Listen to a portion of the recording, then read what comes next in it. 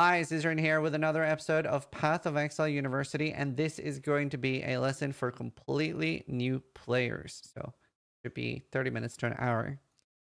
And uh, yeah, this is for new players who are curious about the game basics. So what is Path of Exile? It is an isometric ARPG similar to Diablo and uh, other games that you might have played like that, and Torchlight and stuff, Last Epoch. It is online only. That means that it does not have an offline client at all. Um, so you cannot play it on a um, Steam Deck and, and, and on a plane and stuff like that. I think you can actually play on Steam Deck though. Just need to be online. Uh, there is solo and group play. A group can be a total of six people, and it really rewards time spent learning knowledge. Like it's a very very knowledge based game. So um, if you actually like take some time to study, uh, which is why I have a university session, then uh, you will be highly rewarded for it. It does have massive replayability. Personally, I have approximately 25,000 hours in the game. I think I just hit 20,000 hours streamed uh, or something like that. So uh, a lot. So yeah, new content and rebalance every three months. It's been four months lately while they're working on Path of Exile 2. But um, that's one of the nicest things, especially for me as a streamer, is that we do get content updates every three or four months um, with a very large expansion, usually at least once a year. And we're currently experiencing that now with, uh, well, we're not getting a huge content update in terms of new bosses and stuff. They've completely reworked uh, basically the skills of the game this patch. So we get a way larger toy box. And all the updates and expansions are free. Um, you will, if you actually like the game, well, it is free to play. You will realistically spend anywhere between 30 to $50 is the uh, cost of the game, and that is in the form of stash tabs. I feel like that's pretty important to mention. Um, the topics we're going to cover is selecting the league to play in and softcore versus hardcore, um, temporary league versus standard, and covering loads of terms like that. Selecting classes, a build, and talking about the skills and how they work, because other game games just have them as something that's part of your class or your character. We talked about the campaign that's before the end game, and then the UI basic itemization and currency and talk about different external resources you can use to help you learn. And we're going to talk about some of the changes for 323, which is the current league that starts on Friday, Affliction League. So, first up, this is what it currently looks like, and uh, with Ancestor or Hardcore Ancestor, etc. And uh, that is the current league that is happening. Uh, if you're a Diablo player, this is the same as a season. So um, on the left here, you have standard. That is a default game mode and nothing ever resets or anything like that. So if you played seven years ago, your stuff is still there from seven years ago. Um, I do usually recommend avoiding that because since it never ever resets, and there are uh, not a crazy amount of people, but a decent amount of people that do play that actively, they do literally have like a years years head start and you will never find anything like an item that will actually be sellable really. Like it's almost impossible to find an item that sells and the economy is very stale and unhealthy. Um so standard is more if you are a returning path of exile player and maybe you don't have a lot of hours to start a new character then standard is perfect. And then you can see that you have picks so you can play hardcore. That is basically standard hardcore so it's just the same as standard, but you you lose your character when you die. And in Path of Exile, you don't fully lose your character like Diablo. It instead gets transferred to standard. And that is always the case, even if you're experimenting in leagues, which we'll talk about now. And then Ruthless is basically Path of Exile's semi-answer to World of Warcraft Classic, where it's like a very different and bare bone version of Path of Exile with a lot less in it and very little loot, etc. Very little power. Next up, we have the temporary league. So these are going to say Affliction on Friday, and then you have Affliction Softcore and Affliction Hardcore. Then you also have solo self-found modes. They are pretty self-explanatory. You cannot play or trade or interact with other people in any way. Um, and the same ruthless options this for those as well. So this is what I normally recommend that you would play. It would be Affliction Softcore. And the way this works is that this resets every three or four months. And what happens when this resets is that everything is moved to standard. So if you're a new player, there's no reason not to play Affliction. Um, and then if you really got attached to the stuff you were doing and you want to continue that without the new update, you can in standard. But there's always all the new update stuff generally always goes to um, uh, the the new league that's coming, which is now going to be Affliction. And then hardcore is pretty punishing. It does require you to learn uh, and and know a lot about the game. Or if you're just going to put a large amount of hours in it, then then this is fine for that. So a lot of options there. And then for solo self found as well, this is very brutal in a way because you will have to hoard a lot more because there might be items in the game like there's loads of different rarities of items and stuff and there might be some that you really really need for one build that you just can't find and you could otherwise find it easily in trade and just buy it off another player and you can trade freely like there's very very little things like soulbound and stuff and uh in path of exile so yeah uh, you can, however, migrate. So if you are playing solo self and you want to try that, you can go back to Trade League. Which, if I remember correctly, Ruthless does not have that option. Don't think you can migrate from Ruthless. But uh, Solo self is something you can migrate out of. There. Now, next up, we have seven classes in Path of Exile. Seven? Classes dictate the ascendancy classes or subclasses available to you. So every class has three subclasses except the Scion that only has one. Uh, and it's actually not unlocked at the start. You have to get all the way to Act 3 in the game, and then you find the Scion caged up, and then will be permanently available to you. It is not something you have to unlock every single... Um, not something you have to unlock every single time. Uh, but in most games, everything is tied to your class. If you're a sorceress in Diablo, you cannot use druid skills. Well, Path of Exile is very different here, where this only dictates your starting position on the skill tree and what ascendancies or subclasses you can choose. Everything else is completely up to you. So that means that you can be a witch with running around with heavy strike and a big sword, and you can be a juggernaut um, a marauder running around with spells. So that gives for a lot of cool combinations, and we we're always like discovering things as a um, as a community. So they, we don't have the same type of like archetype of classes. You do have archetype of builds, like you do have bow builds, you have spell builds, you have melee builds, etc. But they are not the same way, and they're not tied to the class. So you can start and learn yourself as it go and I usually, for most games, will recommend that. The usual, or the reason that I don't recommend this for Path of Exile is because Path of Exile has very limited and bad respec options. That's one of the number one things I think they should switch. Something like cheaper or free respecs during the campaign, because what very often ends up happening is people play around and the skill tree is very daunting. There's hundreds of nodes on there. So people play around and they might be able to get all the way to Act 3, Act 7, Act 10, but then the later they get and the more they notice their build is screwed, then they'll maybe come to me and be like, hey, Zizaran, you were right. My build is screwed. How do I respec? And I'm like, well, you can't. Whereas respec in the end game is actually very accessible when you're like a veteran player and you can farm it and stuff. So in the end game, it's it's very easy to even do a full respec. It's just early game that respecing is very hard. I always have starter guides posted on my YouTube, and not only do we make a lot of guides ourselves, and we have a team, not just me, that works on this, but we also collaborate with multiple other content creators because it's not always that I'm the best choice to make a guide for something. So I collab with people that are. That way, we can always offer you the best guides. And always wait for patch notes. Um, if you see creators post build guides before patch notes, it's a very large chance that it's a bait, that it is not good, and people are just throwing it out there early to get more clicks.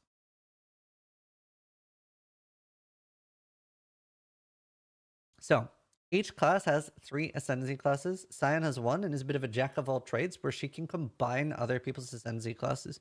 So that is really cool. And your ascendancy class generally dictates the style of play for your character.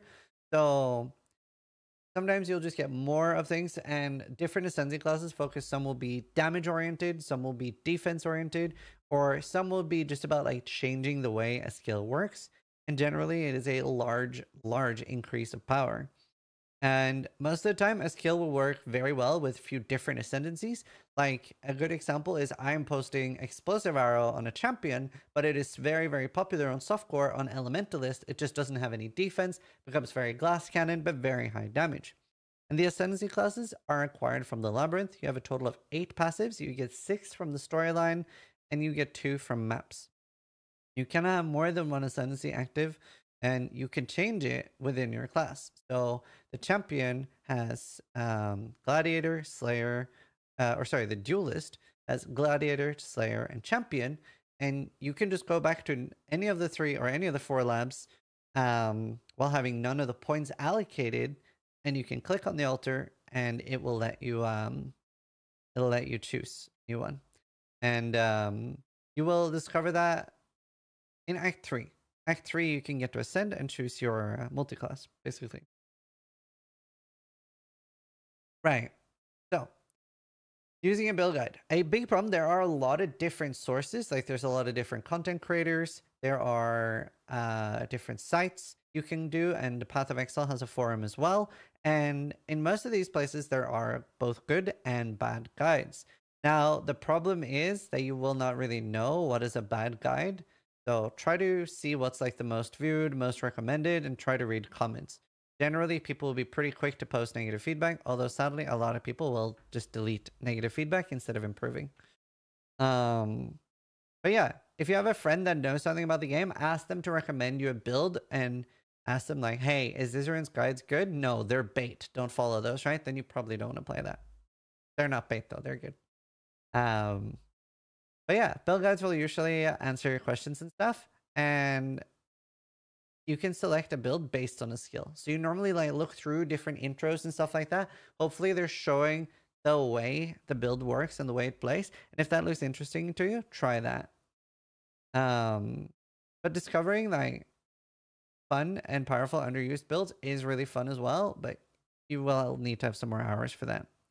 So what we do for starters is we have very, very low gear requirements. Like we try to avoid using things that are going to be super expensive if you're playing Trade League. So, you know, things that are in high demand. And we try to make sure that a build works with the bare minimum that you just pick up off the ground and that it's also viable for solo self-found. because if it works on solo self-found and in a vacuum, then it'll be really great on trade. So, number one thing you want to do when you start is swap your left click, so your move only.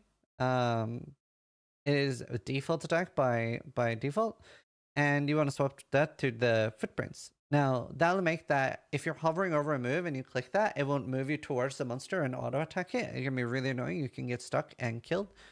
Um, and uh, another thing, you can right click your skills and do always attack without moving. This is the same as in things like in games like Diablo, holding shift so that it does not move you towards wherever you're trying to attack. This is really nice, gives you so much more control over your character. And the only skill you shouldn't have this on is dash. It makes you move backwards. However, it is absolutely hilarious to listen to new players who have followed the advice of always attack without moving, do the letter and put it on everything. And they're like, yeah, I broke my dash. I'm moving backwards now. And it's just really amusing for veterans like me like to hear about. So, you know, do consider playing with that anyway. Um, here on the skill bar, you can rebind things and whatever. This is actually something even veteran players don't know. So if you hold control down, this accesses a second bar that you can add more things to. However, the thing that people mess up with this is that even veteran players don't know that you can rebind this. So for example, um, what's normally control W, I have this on um, mouse button 5. So I don't need to hold control to use that. So an example of this for me is I will always have my flame dash there. And I always get asked, like, there's no flame dash on your bar. How are you using it? And I'm like, well, it's on my second bar. And then people ask, well, don't you have to hold control to use that? And it's like, well, no, you don't. You can rebind that to anything. You don't need to literally see them. It's just good to see them to keep track of it uh, for things like cooldowns and stuff. But you can rebind everything there. So let's talk about attributes in Path of Exile and how they work. So every 10 strength gives you 5 flat life, and you have both flat and percentage life. Uh, and obviously they like, you want a decent amount of both. Um, then it also gives you 2% increased melee physical damage. Every 10 intelligence grants 5 maximum mana, and that's flat, and 2% increased maximum energy shield. Sorry. Every 10 dexterity, an additional 20 accuracy rating, and then 2% increased evasion. So how much of this do you gain per level? None of these. These stats do not increase per level. You do gain things per level, but not these. So builds that stack a single attribute as high as possible are popular for in-game, but will require extensive investment. So that's actually something you can do. You could there are literally builds for all of these where you stack it's like 1500 of a stat. It's like decent for a stat stacker. And they're some of the most fun builds you can play. Um, and you do gain a little bit of flat life per level. Um, so Passive skills, you do receive one point per level and either 22 or 24 from quests. There is one quest where you can basically choose to kill all the bandits or to help one. Now, in current Path of Exile, it's pretty much every single build will kill them all because we're so tight on skill points for every build. So generally, you will get one per level and 24. And um, the other bandits can give you things like, you know, resists and crit, etc. But yeah, skill points are very strong right now. We get eight ascendancy points, and they can be used the same as your passive points in your ascendancy tree. Um, to respec them, you will get something later called respec points. It's derived from Orb of Regret, and it is one per point or five per ascendancy node. So, uh, points do need to be allocated in a chain, so they do need to be connected to each other. And there are some unique jewels um, this is similar to legendary items if you're a Diablo player, but there are some unique jewels that will allow you to, let's say, access everything within a circle on your skill tree without being connected to it, and they can be really cool. Um, active gems provide a skill you can use, cast, or trigger. So if you're coming from a different game, you're maybe used to like clicking a button that allocates a skill, and now your character has that skill. In Path of Exile, it is an actual item, and this is changing a little bit this league where we're getting even more different items, like something called Transfigured Gems that will change the way a skill works. Um, and then we have passive gems, and that's also called support gems. So, um, for example, we could have Fireball, right? Very standard action role playing game skill. You right click and you're shooting fire towards your enemies. You can link that with lesser multiple projectiles, and now you're shooting more projectiles. And then you could change and alter the way things work. You can make the AoE bigger. You can make them ricochet between monsters. And yeah, loads of cool things. You can acquire skill gems with quest rewards, gem vendors, drops, or you can trade with other players. And this is obviously going to be very applicable for this league with the new thing coming, which we will explain later. So some skill gems are locked behind certain classes from vendors. However, there is a vendor in Act 3 in a subzone called the Library that'll unlock, um, once you've done the quest, it'll unlock every every gem from any class thus far. And then at Act 6, there is another one and that'll unlock Lilly and she will just give you access to any gem um, that isn't like drop only or or gotten in a specific circumstance. Now, you cannot stack the same support gem. So, for example, let's say that I have raised zombies. I cannot stack three gems of increased minion damage.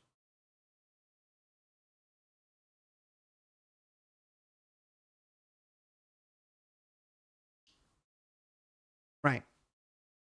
So when buying a support gem from vendor, you'll be shown a list of active skills you already equipped in your gear, which can be supported by that support. So it'll it'll tell you and give you some info, and if you look at the top of the gem, it'll also show you the tags and it will highlight like this.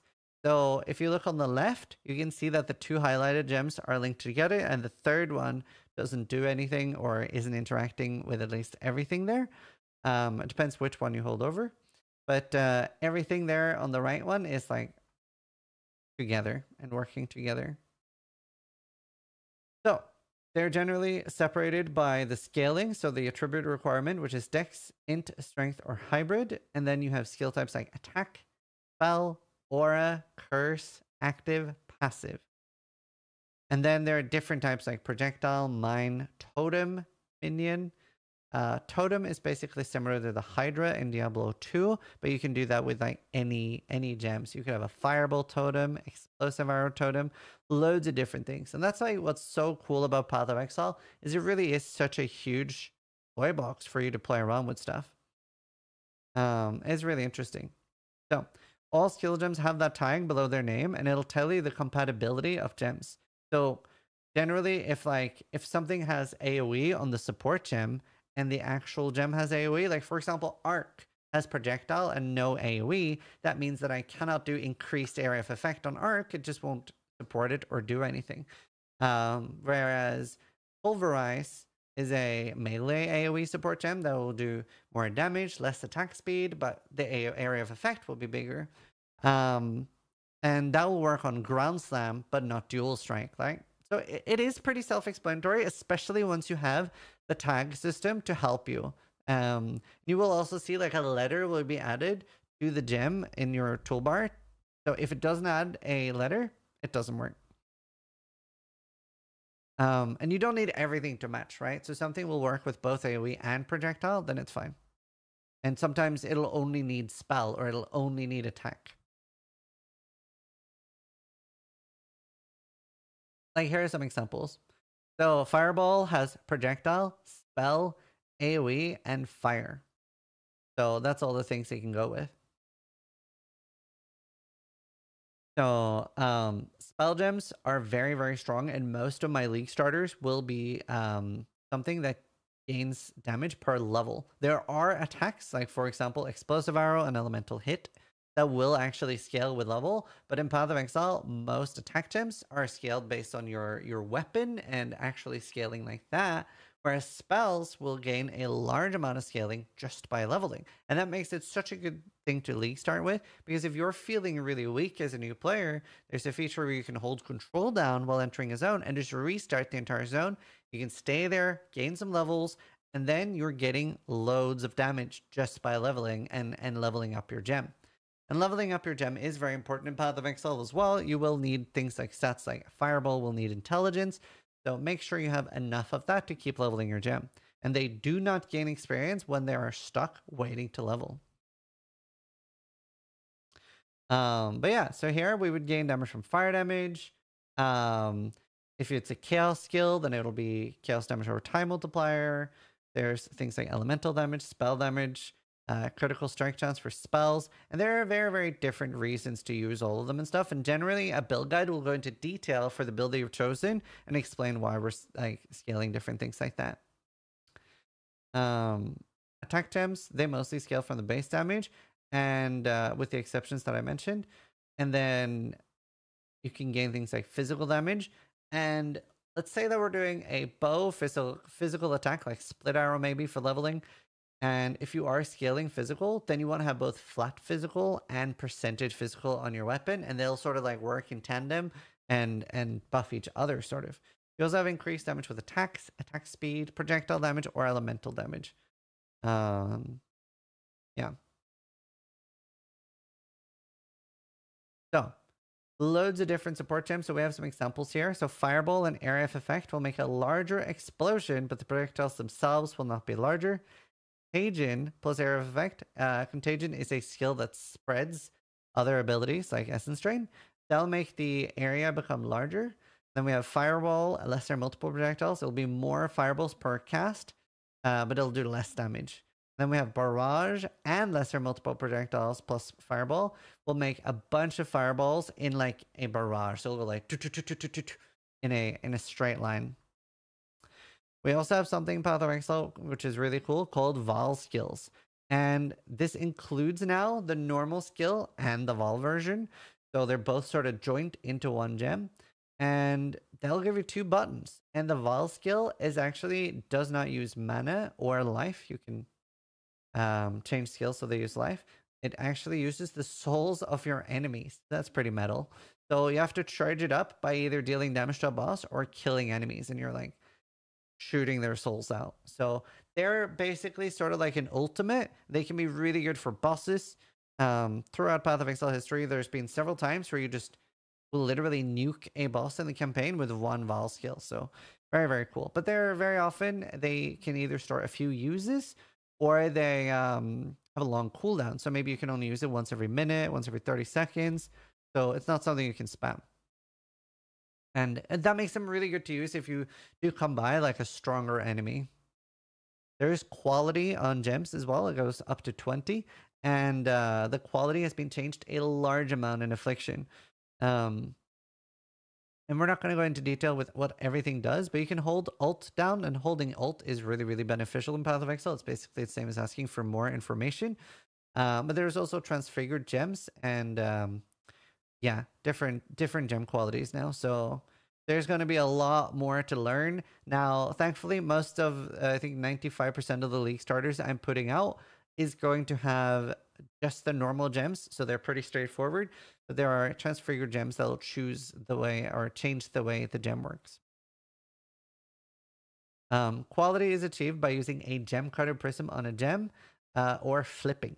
Um, so Path of Exile is vendor recipes. I'll explain that in a second. But a gem cutter prism is basically like a crafting component or a orb, um, and it'll give one quality per gem cutter prism. And you can find these by playing Path of Exile. Um, on your support gems, getting those to quality 20 is actually a lot easier than active gems because with a support gem, once that hits level 20, you can sell it with one gem cutter prism. It'll go back down to level 1, but it'll be 20 quality, so you just need to level it back up. Um, unfortunately, you cannot do this with active gems. And yeah, quality can either be beneficial or detrimental. So it is generally always good, but there will be some guides that will specifically tell you not to have quality on it. So sometimes that could be if a skill has unbeneficial AoE. Let's say uh, it's pushing things further away, and maybe you want concentrated damage as a good example. So, Transfigured Gems or T Gems is coming in Affliction League, and they are a new alternative form. And if you're familiar with Labyrinth in Path of Exile already, that is where we are going to get T Gems. Um, if you are a returning player, this is um, replacing lab enchants on helmets. It is also replacing threshold jewels and alternative quality gems. So we are supposed to be mostly gaining things and getting more cool things, but they did say there will be some loss as well. Um, it does look like mainly buffs and power creep for us though. Um, for returning players, the number one thing that we're losing is our reservation change. Uh, like there, we will have less auras that we can fit. Uh, T-gems are drastically changing how a skill functions or adds functionality. Uh, the best example is raise zombies. You can normally raise zombies to fight for you and they're running around and protecting you and killing you. Well, one of the T-gems for raise zombies is that they now just fall out of the sky. They don't require a corpse. You're basically summoning a zombie in the sky. It falls down on your enemies and like falls flat on it. So that's pretty funny. That is actually my league starter this league, and it sounds hilarious, and I can't wait to play it. And since it's completely new, we really have no idea how this is going to work or or how good it's going to be, but it'll be fun. There isn't much extended information on the specifics. Um, I will be making videos and going through them as we get them. We just got our first batch today, so I'll do that later today. But I wouldn't expect most starters to use these. And most starters that are using these will probably either be really, really cautious. Like, hey, try this, but it might be terrible. So level a second gem alongside it um, is very, very scary. Um, so we have loads of starters up that are risk free. Now, where do gems go? Let's talk about sockets in Path of Exile. You can see here that we have blue, red, and green sockets, and there's a link between them. There is also white sockets, and um, gems can only be socketed in the corresponding color socket on gear. So if you have arc, which is blue, that cannot go in the red or green. Um, it can go in the white.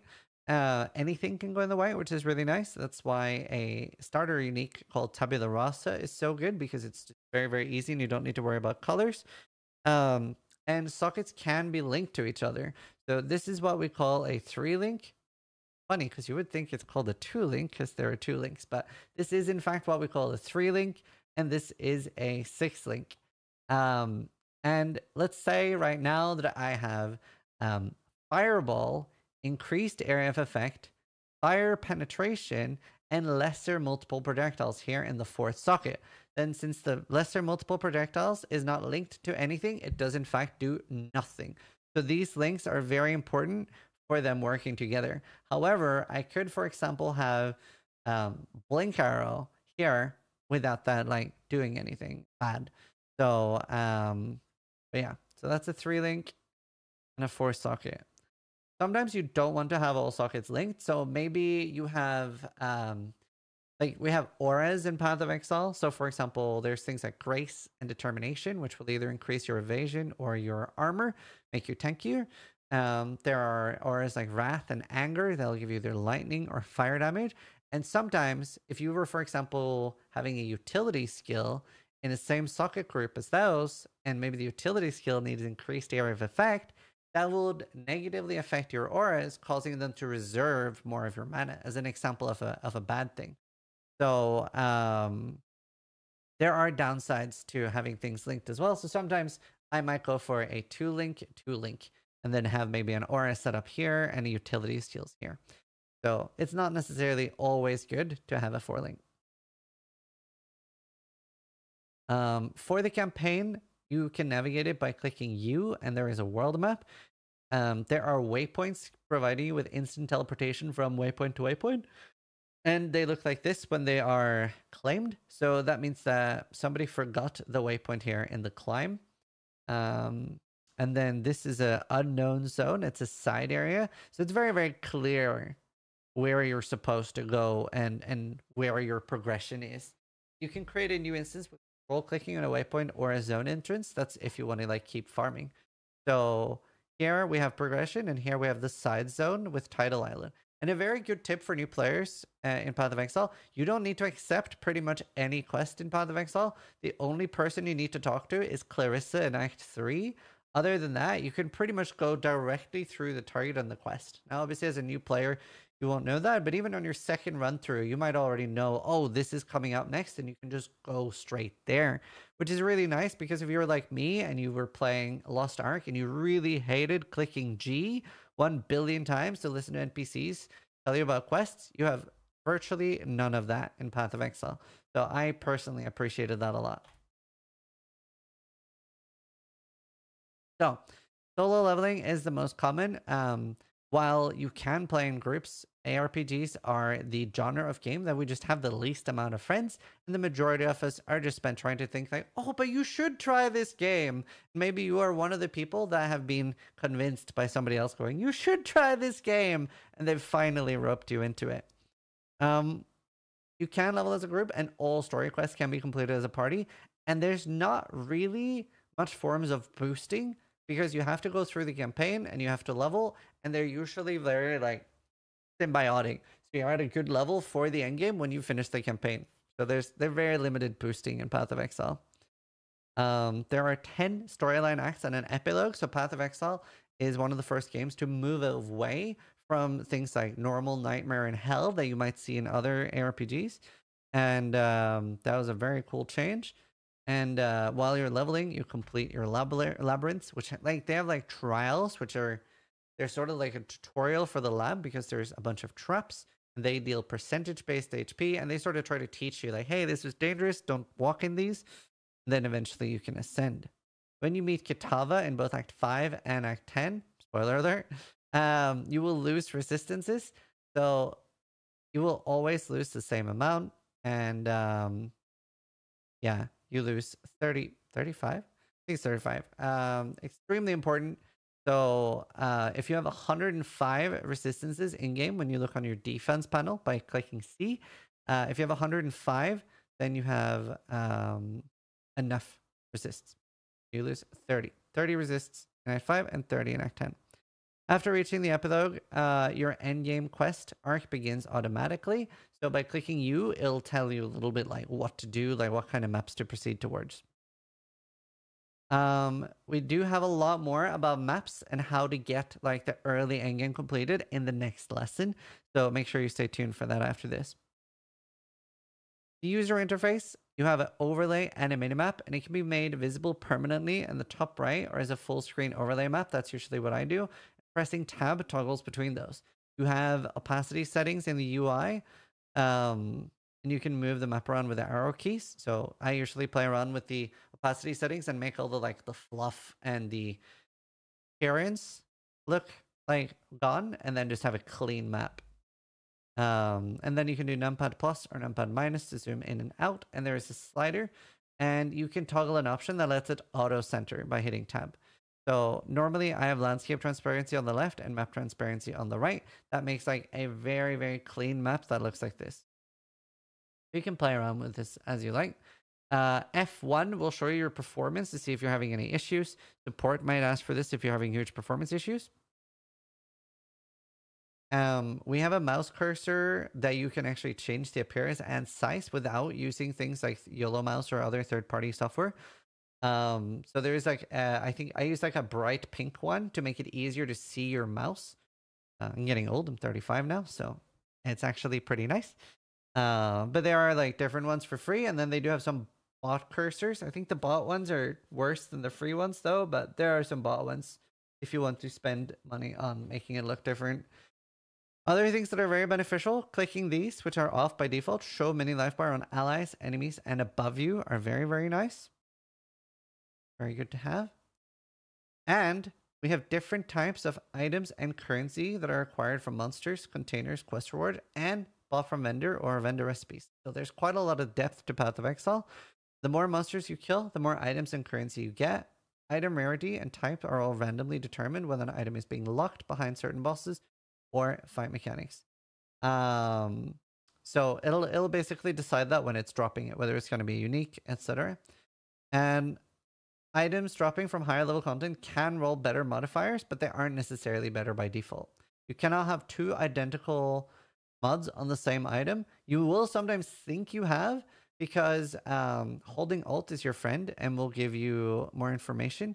But um, so, for example, life has a hybrid modifier. So, for example, I can't. Let's say a test has 70 life on it. I can't get that mod twice for 140. But there are hybrid mods that are, for example, life and energy shield, and then I might be able to get 70 plus 23. There are multiple ways to affect how many items can drop, like magic find and stuff like that. Let's go over the different rarities. Here we have a white or normal, magic or blue, rare or yellow, and unique. Legendary if you're a D4 player. Um, there are no set items really in Path of Exile.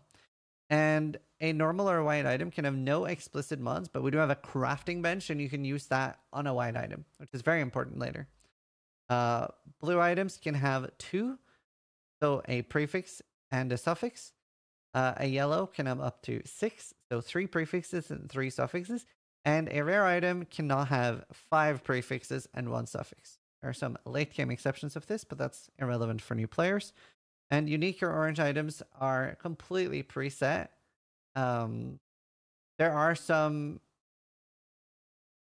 I think the best example is for Diablo 3 players. There was a ring called Hellfire Ring or something. There will be some items that are random, um, like you know, to give you different skill types, etc., or like buffs to different things.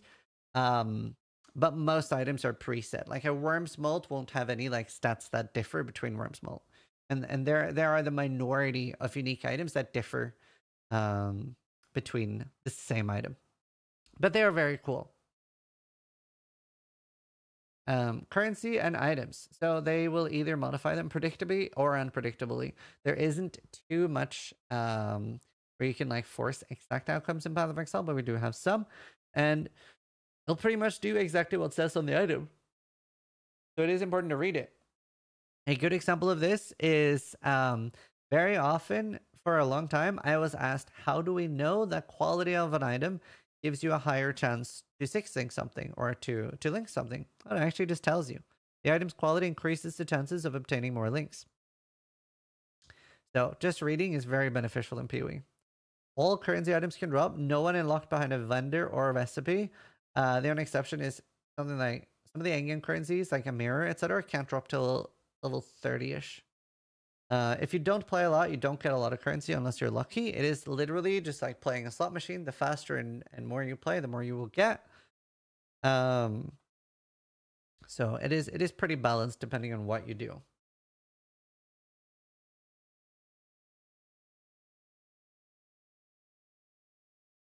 Now, implicits is always a part of the item unless modified in some way. The implicit is here, for example, in a leather belt. The implicit is the life. Then you will have ruby rings where the implicit is uh, fire resist, etc. Then prefixes is the thing that comes before the name, and the suffix is whatever comes after the name.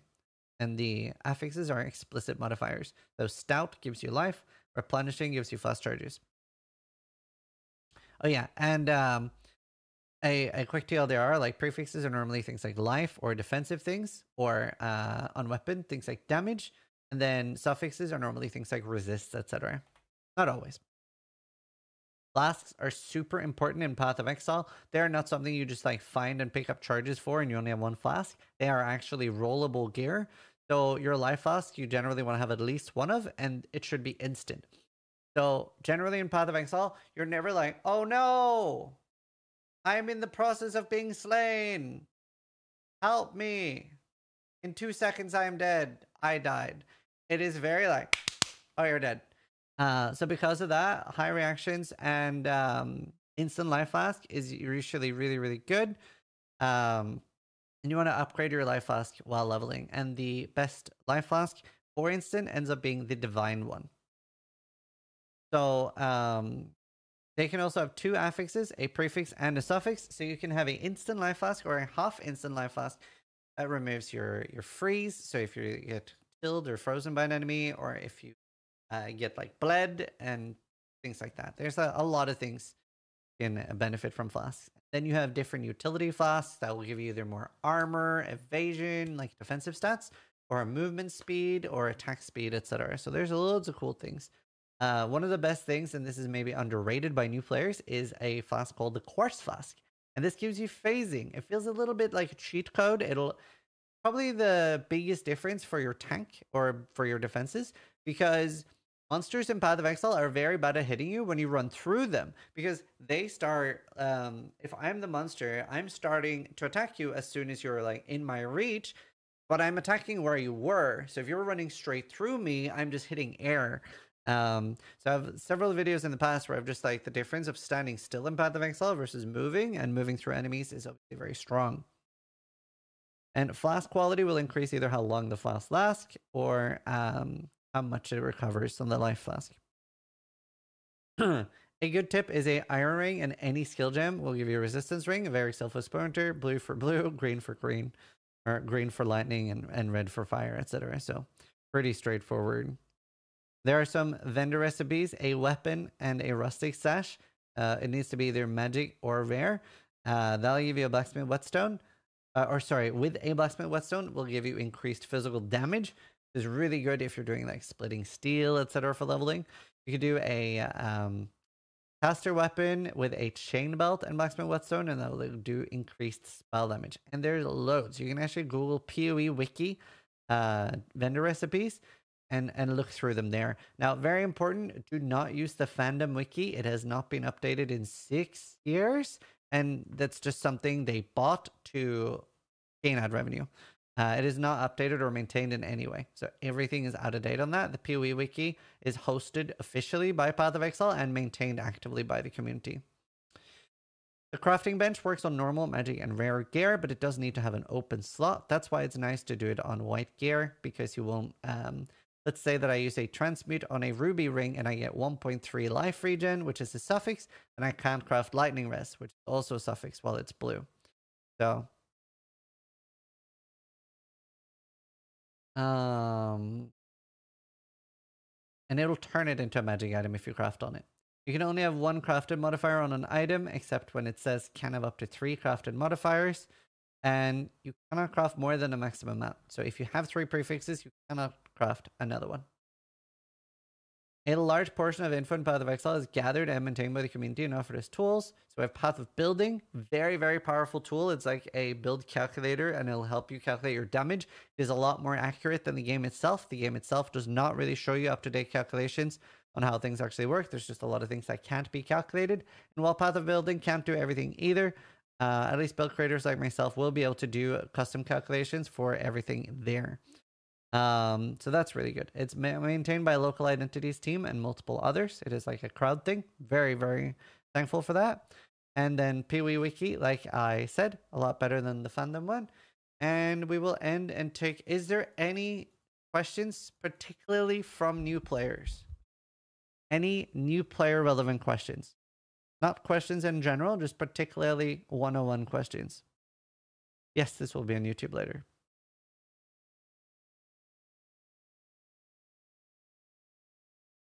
Oh, you can also give feedback at exclamation mark feedback. Crafting seems really daunting. It is. It, it just straight up is.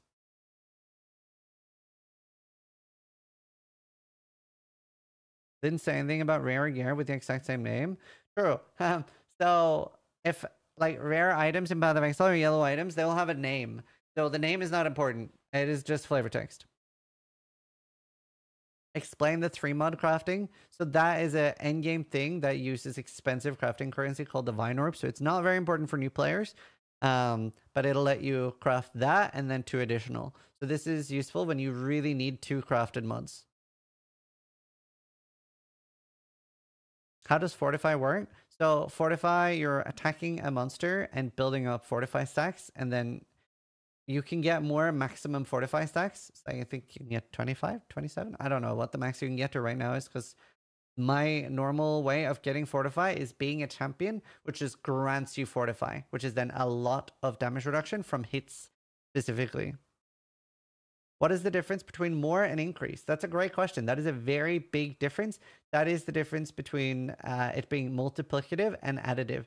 So increased is additive with itself. So let's say I get 100% increased spell damage and I get 30% increased spell damage and I get 200% increased spell damage. Then I have 330 increased spell damage. Whereas if all of those were more, it would be 100% multiplied by 30% multiplied by 200. So the more and more multipliers you have, the better. Whereas increase, they they are still beneficial. And in a vacuum, let's say let's say your very first thing on a level one character, you choose between 50% increase and 50% more. It does exactly the same.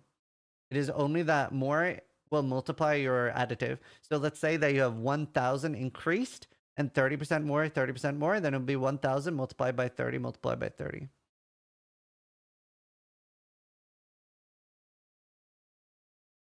Bulgaria guy just got the first Ascendancy. So the first Ascendancy on EA does nothing until you get the one that gives Fortify. Armor and Evasion. Armor and Evasion is uh, evasion is that you get hit less by monsters, and there is entropy. It's really interesting. That means that no matter what, like you can never have a streak. Um, let's say that you have 75% chance to dodge something, uh, right? You would think that there is a universe where you know like the the monkey typewriter harry potter meme where you know eventually in infinite history of time you would have a streak where you would never get hit for a year that can't happen and that's because for there's entropy so with evasion in path of exile it'll basically it's it's very complicated but a tldr is it'll choose a number and let's say based on your evasion you might get hit every seven hits or you might get hit every four hits or every 10 hits but with evasion, it's really nice to know that you can never be hit twice in a row with enough evasion. Let's say you have 30,000 evasion, it might choose something like every seven hits you get hit. So this is really good. And that means that most evasion builds will build loads of evasion and enough to tank one hit and make sure that you're back up for the next one. Um, so we have items in Path of Exile that like if you hit once every four seconds, you take less damage. Yeah, it prevents bad luck streaks. Whereas there is another stat in Path of Exile, which used to be more prevalent, but still is a little bit in the game, called Dodge. And Dodge has no entropy. So with 75% spell dodge, you could have a streak of not getting hit by 100 spells in a row. And you could get hit six times in a row. Um, armor is a little bit confusing. I actually have a command in my channel because armor gets asked about a lot. And uh, it does not grant the percentage reduction to physical that the tooltip states. So it'll actually tell you in game physical damage reduction based on your armor, but that is a vicious lie. It has nothing to do with your physical damage reduction at all. Uh, there's a hidden mechanic where armor only grants 10% of the armor rating as reduction.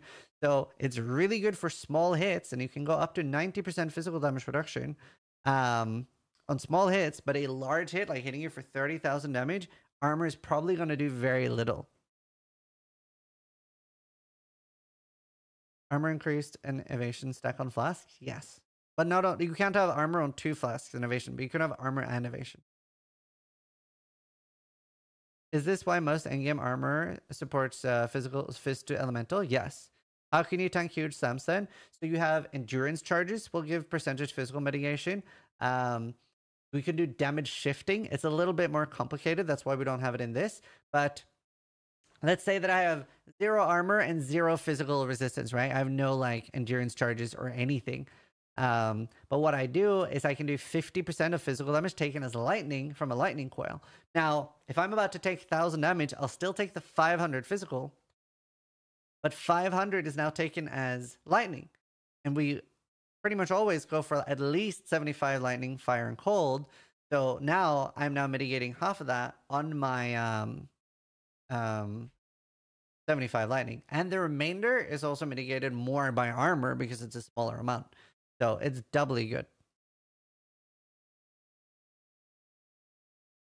But yeah, I think that's the main ones we're going to end because we do have another lesson coming up after this. We are going to talk about uh, mapping, how to get your void stones, and how to get your early progression sorted. So if you uh, have any feedback on things that you want in this session, we obviously also try not to overload people in this. But yeah, um, that's what we'll do. Is it useful to go above the 75 LE res? Yes, because there are curses like elemental weakness that'll uh, lower you. But yeah, so thanks for watching. Give feedback at exclamation mark feedback and uh, try to die less than I do.